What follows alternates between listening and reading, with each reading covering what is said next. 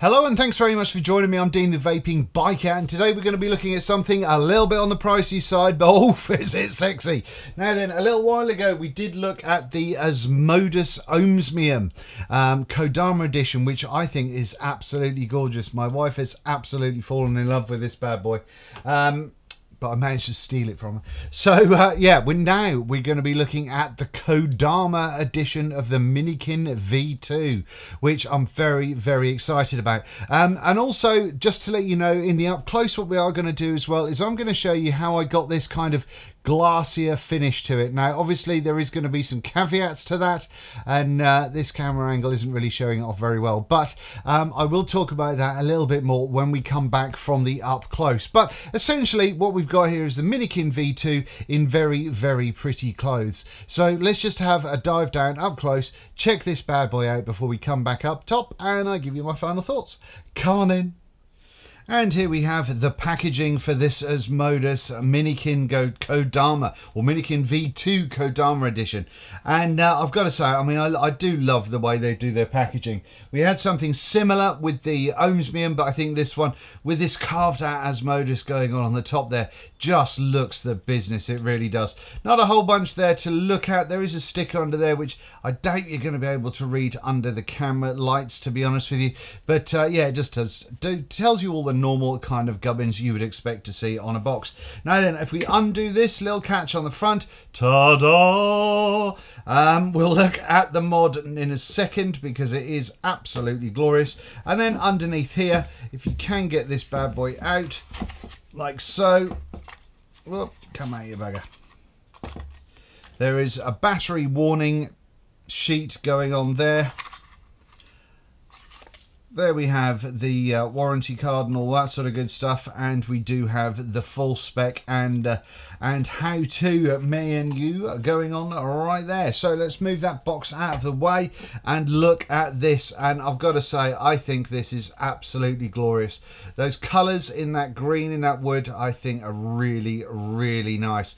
Now this is to all intent and purpose a uh, a hybrid uh, sorry a uh, uh, just a, a stab wood. Although there is a little bit of that hybrid action going on here just with this blue section going on right at the bottom. Now, one of the things that I want to highlight here because, you know, I mean, even when it comes to some of the high-end mods, um, you tend to get a lot of gaps and all that sort of stuff, whereas we're pretty much gap-free running all the way along the bottom here where we've got this uh, um, kind of matchy-matchy with the, the stainless steel button uh, or doors for the batteries. So I think that does look absolutely fantastic.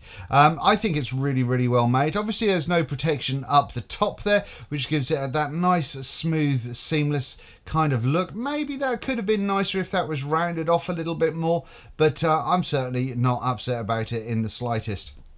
Now then, the screen is pretty much the same as we saw on the uh, Minikin V2. In fact, it's exactly the same as we saw in the Minikin V2. Um, the button pretty much exactly the same. Now, the one thing that I will point out is because this uh, stabilized wood is uh, is there and it isn't the, the sort of normal frame that we have on the regular V2, it is super light. It really is a light piece of kit until you get your until you get your um, batteries in there. Now, the 510 at the top is a little bit different. It's a little bit funky on that 510. Now, I'll come to that when we go to the up top section, but I've had no problems with this one whatsoever. Now obviously we've got the normal menu system which we'll look at shortly but the big difference between this and the regular uh, Minikin V2 is this battery door. Now at the bottom here we do have kind of venting going on when it is closed but to open it all you're doing is you're just pulling that back and it springs up like so which is very very nice indeed. You do have the battery orientation on the back of that battery door as well and you can see the contacts down in that tube right there. So let's just pop some batteries in here so we can have a little play shall we? Bang that in there and you'll see that here is where you've got the uh, a, a, kind of a contact for passing the electricity through from the from the the base of the door through to the board and all the wiring and all that sort of stuff. That will tap onto this little um, plate section here. Um, all, all you got to do to close it is you just push that forward and then you close it down and you can see here that there is a little catch and that goes under the little catch that's just there. So all you're doing is you're pushing it down and then sliding it forward and you close. And I think that's just a really elegant way of doing it. Um, and like I say, this gap around the side there, that is for venting. So I'm perfectly happy with that being a little bit of a gap, to be honest with you. Now then, to open it up, you'll see that, oh, there we go. It's exactly the same as what we've dealt with before with the previous Minikin. Um, and once again, if you've not seen the previous review, go and check out my previous Minikin V2 review because it just shows you that, I mean, obviously up here we've got the um, wattage adjustment and all that sort of stuff. Once you've accepted it, you do need to slide down to be able to make any movements. Once you do slide down, you can touch on wattage and that will move that around or you can slide down and touch on the power and that takes you to the uh, the apps the the menu which is super simple and easy. But like I say go and check out my previous Minikin V2 review on that one. One of the things that I want to show you on this is the only issue I have with the um, the mod as a whole is the finish. I mean, it's very nice and it feels like a kind of like a matte finish. And you can kind of see here that it is kind of, it's not dull, but it's not shiny shiny. It's got that kind of very kind of matte that's the only word I can think of describing it kind of look to it and for me personally I do like a shinier stab wood so what I'm going to do now is just show you how I go about doing that uh, fairly simple sort of process. This is the pack of uh, micro mesh pads that we're going to be using today. And like I say, this is for my the way I like to use it. If you were to do this, I don't know if this will void your warranty. It certainly may do. And I am holding no responsibility if you royally knacker your mod. So uh, I just do need to make that absolutely clear. You can see that we do have, it tells us all about the the uh, grades of the micro mesh going on here and uh, this is what we're going to be going through. I find that if you stack them so the the, the the thickest one is at the top and then you just take them down and move them one at a time that's the easiest way to remember which ones you've done at any given time. Now one thing that I will do on this one just for a little bit extra safety is I am going to get some masking tape and just throw that over the top of the uh, over the screen here it's unlikely I'm going to uh, going to sort of go over it and go onto the screen, but it's just a little bit extra safety from my point of view because I am a clumsy bastard. And this is going to be not a perfect finish on this one because I'm doing it quickly in front of the camera, but uh, hopefully it's going to give you an idea of the sort of effect that you can get from this. Right, so that's more or less covered the screen. That'll do for me for the time being. But what I'm going to do on camera is I'm just going to show you on one side of it just to uh, give you that kind of vibe, if you like. So this is the uh, finish we're starting with. And what we're going to do is we're going to go work our way through. You can see that I've used this one already. Um, we're going to work our way through the grades. So let's crack on then, shall we? I imagine I'll probably put some funky music back on the back of this one.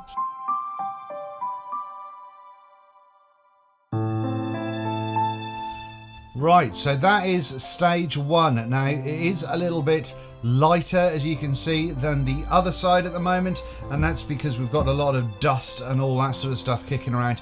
But uh, we are prepping it. If I put a little bit of sort of spit on there, there, we can see that that does kind of cut through, and we are getting a little bit lighter, so um, or a little bit smoother. So let's carry on working through the grades.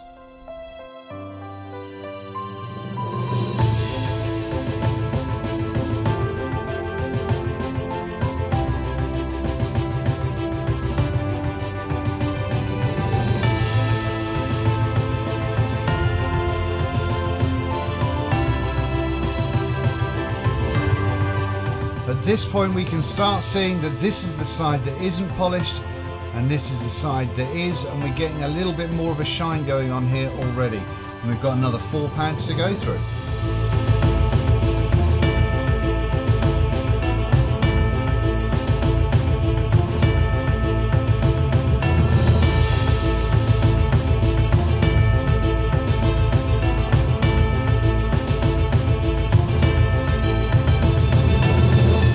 And there we have it, we are now done. So hopefully this is going to show up under the lighting, but now we have a really glassy finish on that side compared to what we started off with here, which is quite the dull kind of uh, sort of more of a, a, um, a matte finish going on.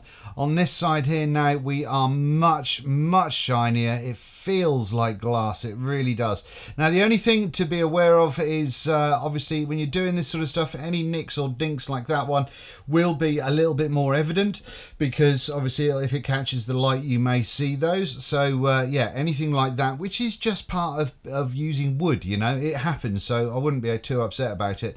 Um, but uh, that may turn up a little bit more. But at the same time as well, when you if you do do this, make sure you go in the same plane of motion the whole time. Don't try and do swirls or anything like that. Just straight up and down, and there you go. But uh, but yeah, I mean, there's there's going to be a little bit more time spent on that. But to me, that is a lovely finish. That's great.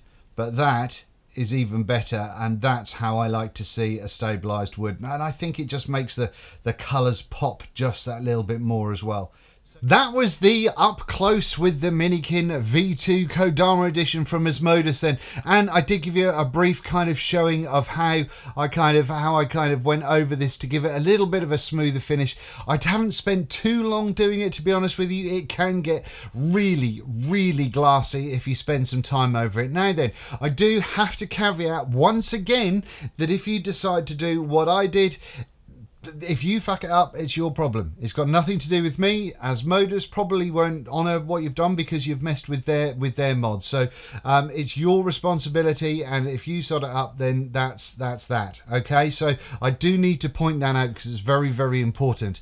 Um, for me personally, I thought it was worth a shot. I liked the finish. I did like the finish, but for me, especially when it comes to the value of this kind of mod, having a little bit of a smooth, a little bit of a glassier finish for me was kind of it was the it just sealed the deal for it being a really top class mod for me to use personally. Now then, these aren't cheap. These are not cheap at all. On the Asmodus website at the moment, they are selling for $349.99, which is a fair whack of money. Now, most of them are out of stock, although it looks as though there are three. There's like a green one, a reddish and beige one, and a bluey one that look like they are still in stock on the uh, Asmodus website. I did have a quick Google. I couldn't see anyone that I knew that had them in stock in the UK. So uh, by all means, go and have a little Google there. Now, the 350 quid is, um, or $350 is a lot of money. It is a lot of money. However, the one of the things that I think about when I'm looking at um, sort of uh, where it sits in the marketplace, if you like, is the fact that um, a massively popular mod has obviously been the M17 from Axis, and that is going um, anywhere from 425 down to um, I don't know 375 or whatever. And that are they single single 18 650 or are they lipo? I can't remember. I cannot remember but um, possibly lipo. Possibly lipo. But um but yeah i mean and they're big chunky mods. This is a pretty small mod. We're looking at about four mil extra in height to the regular minikin v2 so not very much there. I think we've got about three mil difference front to back um, and maybe two mil difference width wise. So we are a little bit on the thicker side with this one, um, but it's not it's not still a large mod for a dual 18650 mod. I think it's a little corker. I really really do. I like the battery door. I like the way it performs. I like the touchscreen, um, and I said that in my original Minikin V2 review. I think it's just all in all a little crack. Let's have a little. I've got the Medusa sitting on top of here at the moment from Geek Vape. Let's have a little toot.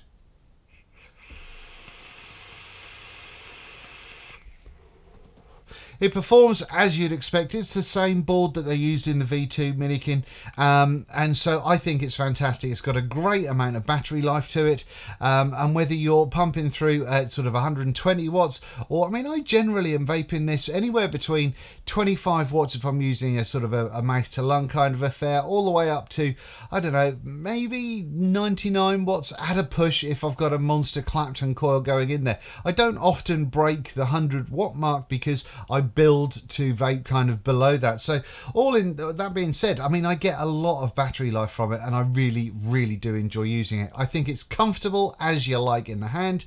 Um, it just for me, I think this is a cracking Stabwood or hybrid mod, and I think they look great. They perform really really well. Um, one of the things you may see from some early reviews of this is the resistance that was jumping up and down, and I too had a similar problem.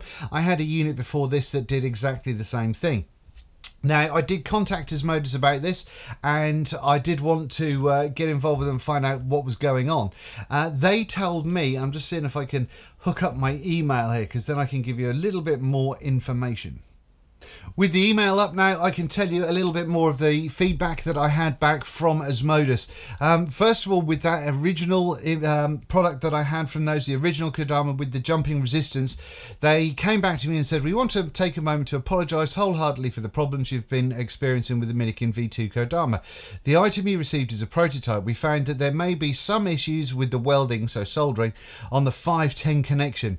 We've now had the issues with the regular Minikin V2 and found that the wood on the 510 connection could be causing these irregularities. Uh, this is the only issue. This issue only came up on the prototype batch and not with the current batch that they have, which was great. So that one went back and all that sort of stuff. So I got this one in return and that's fantastic. Um, and still, from a customer service point of view, they came back to me and said, It's come to our attention that the Minikin V2 Kodama edition you've recently received for us uh, may not be compatible with the SMOK TF V8 tank. It is, however, compatible with the TF V8 Baby and TF V8 Big Baby. When used the TF V8 tank, the resistance will jump when fired. We're currently looking into this matter and hope we find the reasoning for this as soon as possible.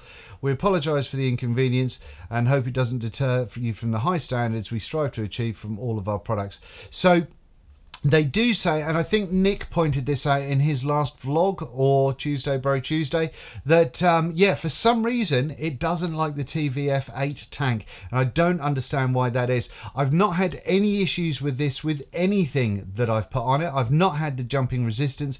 It, everything has worked absolutely spectacularly on this particular mod, and. Uh, you know, I am more than happy with that, and I'd be more than happy to tell you if I did continue to have an issue.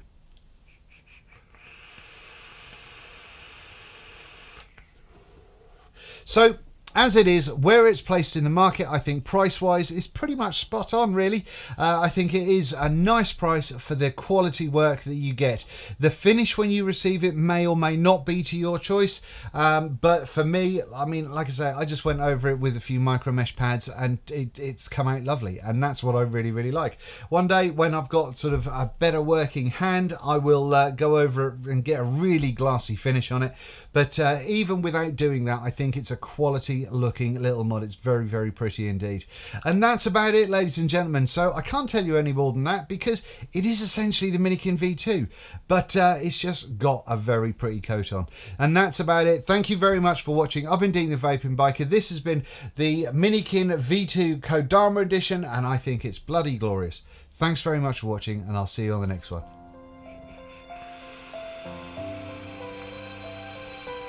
Hit like and subscribe if you enjoyed the video and have it large!